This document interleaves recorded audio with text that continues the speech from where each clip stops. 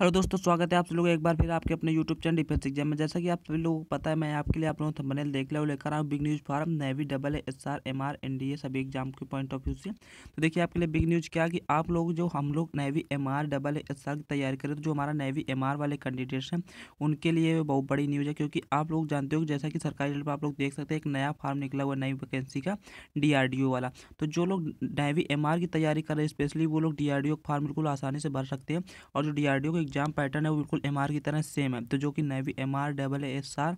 और हमारे M R वाले कैंडिडेट्स के लिए बहुत बड़ा बेनिफिट है कि वो हम लोग डी आर फॉर्म भर सकते हैं, लेकिन इसके लिए एज अट्ठारह होनी चाहिए।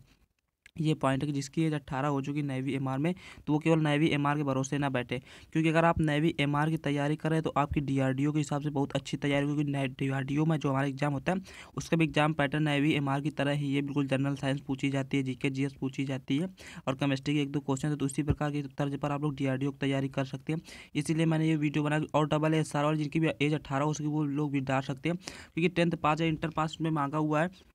और सभी लोग जो डबल ए साग तैयार करता है तो डीआरडीओ अपर डीआरडीओ से ऊपर लेवल की तैयारी करता है। तो डीआरडीओ पेपर देने हमें कोई प्रॉब्लम नहीं होगी। देखिए मैं आपको ये नहीं कहता, आप डीआरडीओ को पढ़िए एक और, लेकिन फॉर्म फिल ज़रूर करिएगा। अगर एग्ज़ाम आपके हिसाब से आ गया तो आप उसको क्रैक कर लेंगे आसानी से। तो इसीलिए मैंने ये वीडियो बनाया आपके लिए, ताकि आप लोग एग्ज़ाम को आसानी से क्रैक कर सकें। और एक बात और, मैं इसलिए वीडियो बनाना चाह रहा था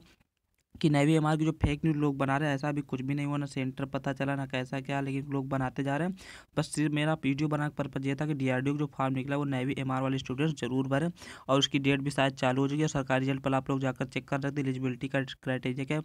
कुछ लोग, कुछ पदों पर हमारा आईटीआई मांगो, लेकिन कुछ पर नहीं मांगो, उन पर आप लोग भर सकते क्योंकि अगर आप लोग एमआर की तैयारी करो तो डी फॉर्म आपको भरना ही भरना चाहिए। Thanks for watching